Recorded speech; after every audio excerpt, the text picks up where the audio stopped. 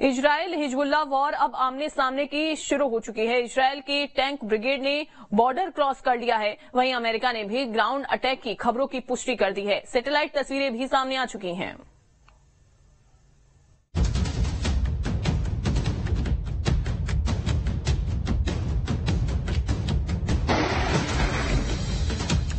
Hezbollah पर Israel का आखिरी प्रहार।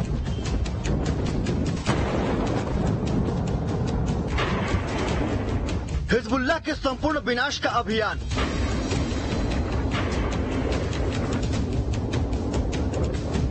हिजबुल्लाह के एक एक लड़ाके के खात्मे का ऑपरेशन।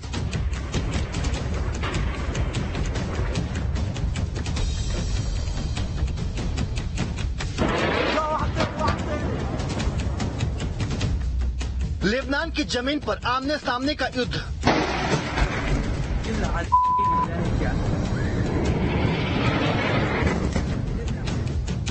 हिजबुल्लाह की धरती पर इजरायली टैंक ब्रिगेड का धावा।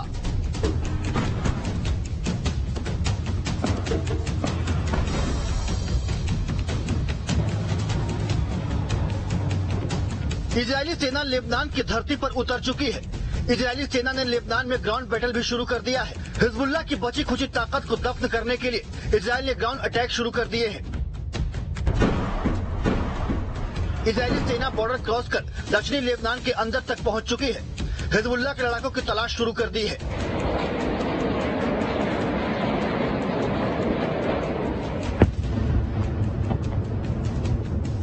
हिजबुल्लाह को सेनापति विहीन करने के बाद इसराइल की सेना ने अपना आखिरी मिशन भी शुरू कर दिया है।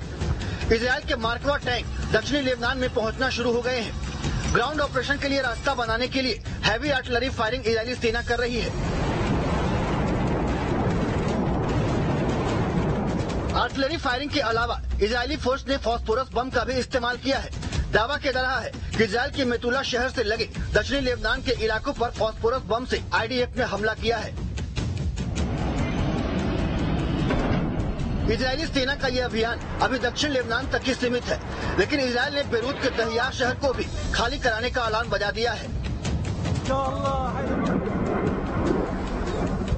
दाहिया में हिजबुल्ला के बड़े ठिकाने हैं। यहाँ पर हिजबुल्ला ने अंडरग्राउंड ठिकाने बना रखे हैं। दाहिया के रिहायशी इलाकों में हिजबुल्ला के लड़ाके अभी भी छिपे हुए हैं। इजरायली फोर्स बेरूत से लगे इस इलाके पर लगातार बमों की बारिश कर रही है।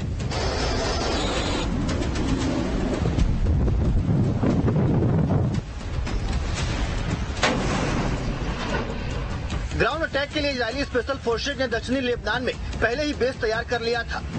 इजरायल से लगी सीमा पर हिजबुल्ला ने बारूदी सुरंगों का जाल बिछा रखा था। जिसे इजरायली कमांडो ने हटा दिया है।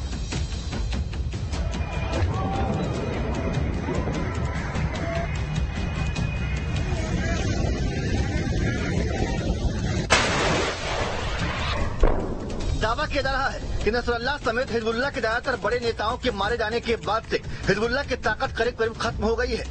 लीडरशिप के खात्मे के बाद से हिजबुल्ला के लड़ाके हताश और निराश बताए जा रहे हैं। लेकिन इस बात से इनकार नहीं किया जा सकता कि हिजबुल्ला के ये लड़ाके किसी कमांडो से कम नहीं है।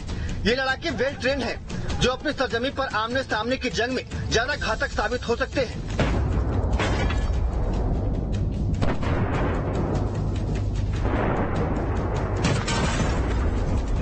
हिजबुल्ला के पास अभी भी एक लाख से ज़्यादा लड़ाकों की फौज है। अत्याधुनिक हथियारों से लैस है, मिसाइल, रॉकेट आरपीजी जैसे हथियार अभी भी इनके हथियारों के जखीरे में शामिल है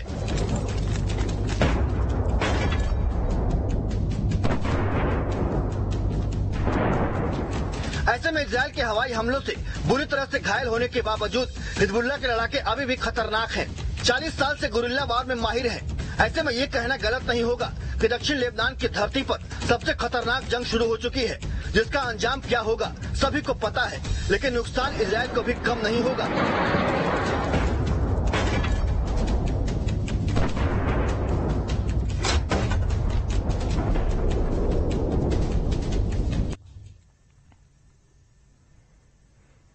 इसराइल के प्राइम मिनिस्टर बेंजामिन नेतन्याहू ने कल ईरान की जनता को संबोधित किया। नेतन्याहू के इस कदम से अब इस बात के कयास शुरू हो चुके हैं कि क्या अब इसराइल ईरान पर भी हमला करने वाला है? क्या हिजबुल्ला के बाद नेतन्याहू के निशाने पर अब ईरान है?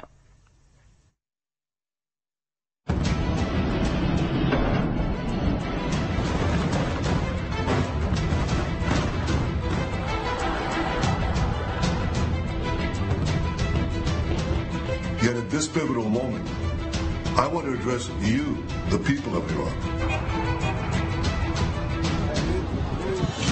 There is nowhere in the Middle East Israel cannot reach. The majority of Iranians know their regime doesn't care a whit about them. Ba, ba, ba,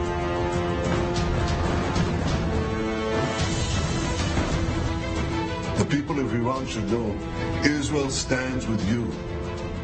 क्या ईरान में इजरायल सुलगा रहा है? बगावत की चिंगारी।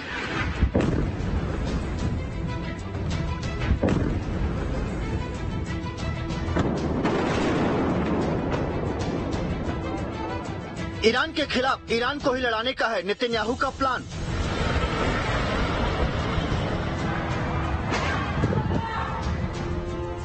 खामेनेई के खिलाफ ईरान करेगा बुलंद आवाज़।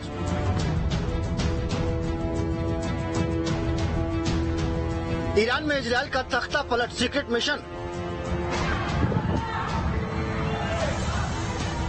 इसराइल के इस दाव ने दुनिया को हैरान कर दिया है। कहा जा रहा है कि मोसाद ने ईरान में बड़ी घुसपैठ कर ली है। खामेनेई की नाक के नीचे मोसाद के लोगों ने अपने लोगों की टीम तैयार कर ली है। बस इजरायल के इशारे का इंतजार है बेंजामिन नेतन्याहू का ईरान की जनता के नाम ये संबोधन मोसाद की ही प्लानिंग की एक कड़ी है I speak a lot about the leaders of Iran. Yet at this pivotal moment, I want to address you, the people of Iran. I want to do so directly, without filters, without middlemen. Every day, you see a regime that subjugates you make fiery speeches about defending Lebanon, defending Gaza. Yet every day, that regime plunges our region deeper into darkness and deeper into war. Israeli PM ने Iran की जनता को संबोधित किया ईरानी सरकार के खिलाफ बातें की ईरानी सरकार को आतंक की धूरी बताया ईरानी जनता को बंधक बनाकर रखने उनकी आजादी को कुचलने वाला बताया लेकिन बड़ा सवाल है क्या इजरायल अपने मिशन में कामयाब हो पाएगा the tragedy unfolding Benjamin Netanyahu के इस संबोधन में ईरान पर हमले का इशारा छिपा है। इजरायली पीएम ने यूएन में अपने संबोधन में ही इस बात के संकेत दे दिए थे कि हमास से शुरू हुई इसराइल की लड़ाई हिजबुल्ला के खात्मे तक सीमित नहीं रहने वाली। एज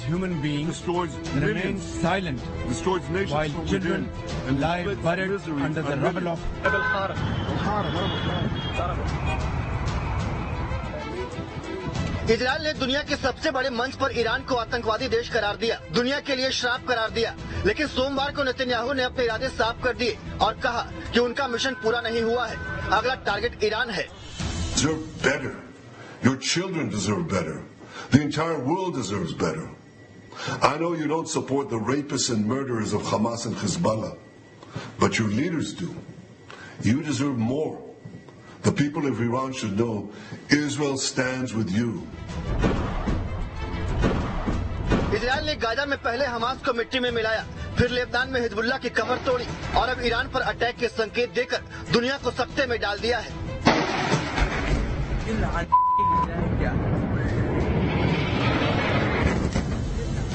ईरान अभी तक इजरायल पर हमले से बचता रहा है गाजा की लड़ाई शुरू होने के बाद से ही ईरान का एक्शन सिर्फ़ जुबानी धमकी तक ही सीमित रहा है। अप्रैल में सीरिया में ईरानी दूतावास पर इजरायली हमले के बाद बने माहौल को छोड़ दे तो अभी तक ईरान इजरायल पर किसी भी तरह के एक्शन से बचता ही रहा है। सीरिया में हुए अपने कॉन्सुलेट पर हमले के बाद 13 अप्रैल को ईरान ने इजरायल पर रॉकेट, ड्रोन और मिसाइल की बौछार कर दी थी।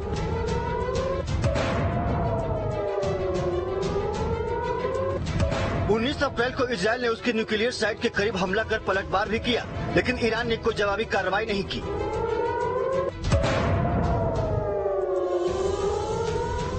इकतीस जुलाई को तेहरान में इसराइल ने हमास चिप इस्माइल हानिया को मार गिराया। हानिया आईआरजीसी की सुरक्षा निगरानी में था। ईरान का स्पेशल गेस्ट था। बावजूद इसके ईरान इसराइल पर हमले से दूर रहा।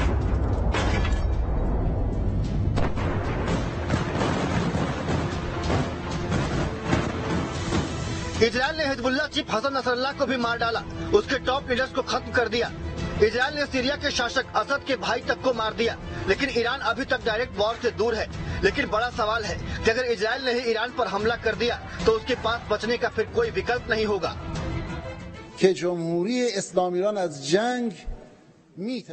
इसराइल पर प्रतिक्रिया देने में देरी का मतलब ये नहीं है कि ईरान युद्ध से डरता है। ईरान और ईरान के लोग युद्ध नहीं चाहते हैं, बल्कि हम क्षेत्र में स्थिरता को मज़बूत करने के लिए प्रयास करते हैं। ईरान की राष्ट्रीय सुरक्षा से खिलवाड़ और ईरान के राष्ट्रीय हितों और राष्ट्रीय सुरक्षा को निशाना बनाने की स्थिति में हम कभी भी निष्क्रिय नहीं रहे हैं और न ही निष्क्रिय रहेंगे।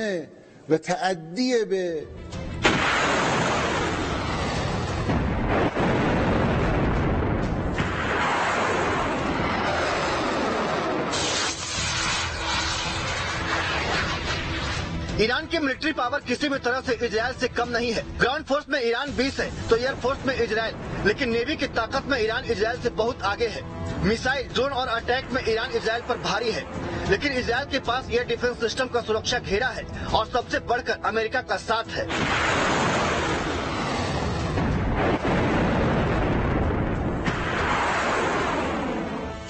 इजराइल पर हमले से बचने के पीछे ईरान का सबसे बड़ा डर अमेरिका ही है। ईरान के इस डर की वजह है उसका न्यूक्लियर प्लांट डिफेंस एक्सपर्ट इसे लेकर ईरान को सचेत भी करते रहे हैं। ईरान को डर है कि अगर जंग शुरू होती है तो अमेरिकी और इजरायली फोर्स उसके न्यूक्लियर पावर बनने के सपने को तबाह कर देंगे। लेकिन जिस तरह से इजरायल ने ईरान के साथ दो मोर्चे पर एक साथ माइंड गेम शुरू किया है, ईरानी सरकार के लिए खतरे की घंटी बजा दी है।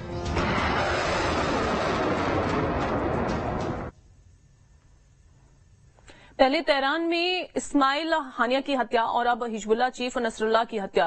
इन घटनाओं को लेकर ईरान इंतज़ाम की आग में चल रहा है। हालाँकि अभी तक उसने चुप्पी साध रखी है, लेकिन दुनिया की नज़रें ईरान की ओर ही गढ़ी हुई हैं। ऐसे में सवाल यह है कि इसराइल से ईरान कब और कैसे बदला लेगा?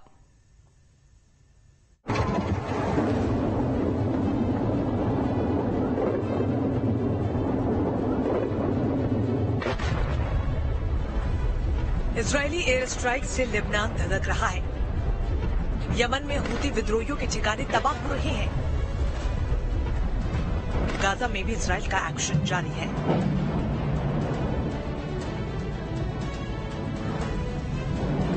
और इन सब के बीच इसराइल के प्रधानमंत्री बेंजामिन नेतन्याहू का ऐलान कि वो अपने दुश्मनों को नहीं छोड़ेंगे।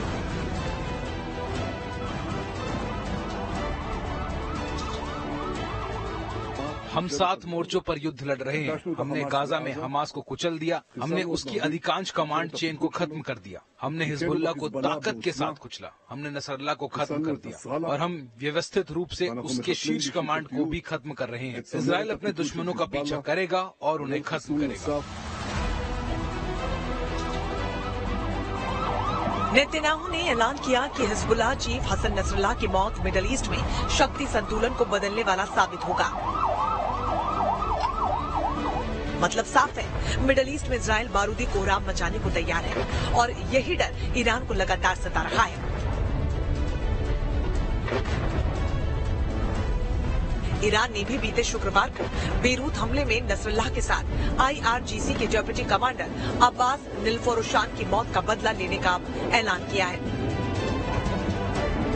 ईरान के विदेश मंत्री अब्बास अरागची ने एक बयान में कहा इस्लामिक रेवोल्यूशनरी गार्ड कॉप्स के deputy commander Abbas Nilforoushan की मौत अनुतरित नहीं रहेगी। आक्रामक जयूनी शासन का यह भयानक अपराध अनुतरित नहीं रहेगा। बीते शुक्रवार को इजरायली सेना ने लेबनान की राजधानी बेरूत में हिजबुल्लाह के हेडक्वार्टर पर 80 टन विस्फोटक से हमला किया था। इससे इतना भीषण विस्फोट हुआ कि छह इमारतें ध्वस्त हो गईं।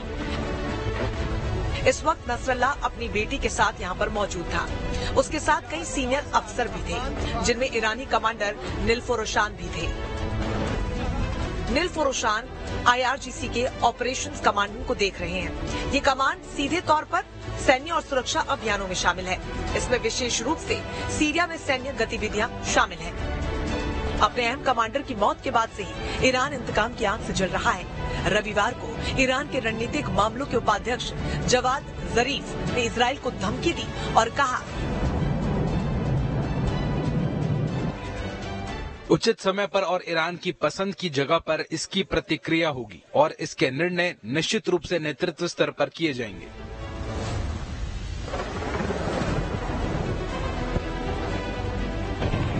यहाँ तक कि ईरान के गार्जियन काउंसिल के सचिव अहमद जन्नती ने भी ऐलान किया कि इसराइल को जोरदार जवाब मिलेगा। दरअसल, तेहरान में हमास चीफ इस्माइल हानिया की मौत के बाद से ही ईरान ने इसराइल को अंजाम भुगतने की चेतावनी दी थी। लेकिन एक के बाद एक, आईआरजीसी कमांडरों की मौत के बाद भी ईरान अब तक इसराइल पर सीधे हमला करने की हिम्मत नहीं जुटा पाया है।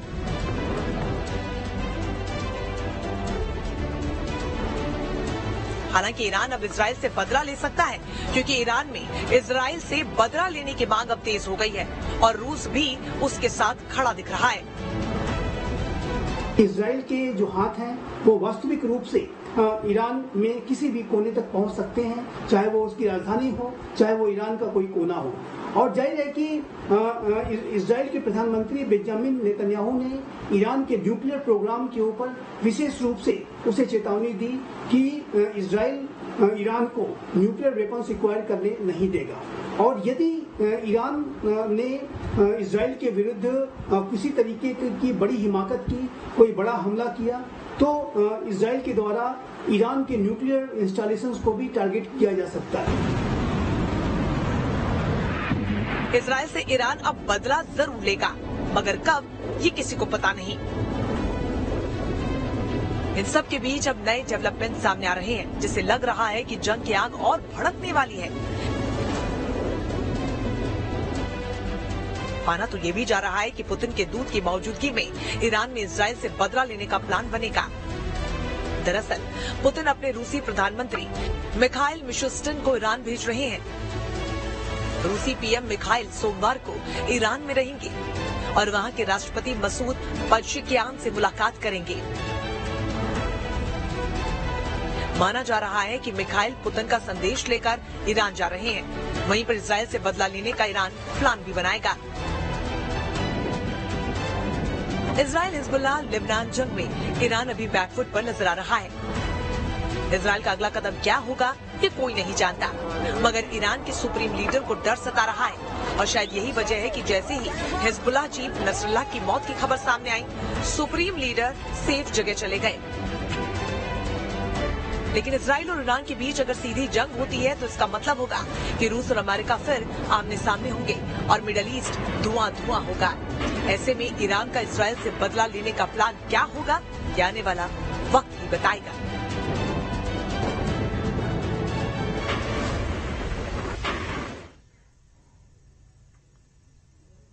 न्यूज़ टुनाइट में बात इसराइल के उस घातक प्लान की जिसमें फंस गया नसरुल्लाह और मारा गया। हिजबुल्लाह चीफ नसरुल्लाह की मौत को लेकर चार थ्योरी सामने आई हैं, जिससे पता चलता है कि इसराइल किस तरह से अपने दुश्मन को ठिकाने लगाता है।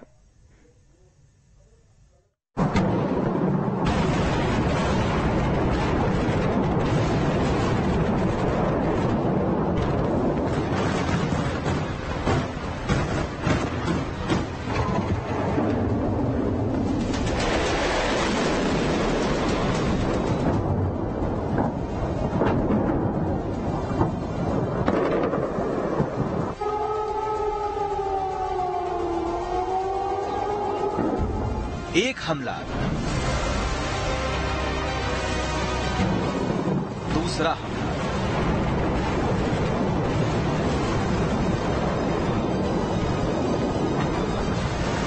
तीसरा हमला।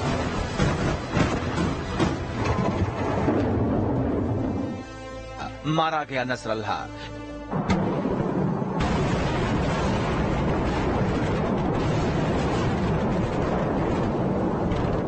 हिजबुल्ला के आका नसरल्ला को इजरायली फौज ने कैसे ठिकाने लगाया? किस तरह से बम और बारूद की बारिश करके नसरल्ला की कब्र खोद दी?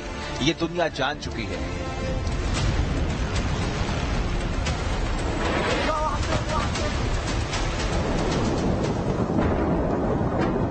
लेकिन अपने दुश्मन नंबर एक नसरल्ला को मारने के लिए इसराइल ने कितना घातक चक्रव्यूह रचा ये जानेंगे तो आप तंग रह जाएँगे।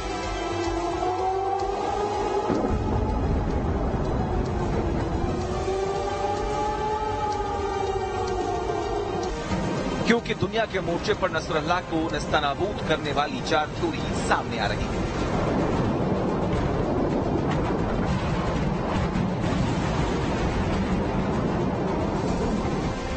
नसरल्लाह की मौत पर जो ईरान बदला लेने की धमकियाँ इसराइल को दे रहा है, उसी ईरान को मोहरा बनाकर इसराइल ने हिजबुल्लाह के आका को ठिकाने लगा दिया।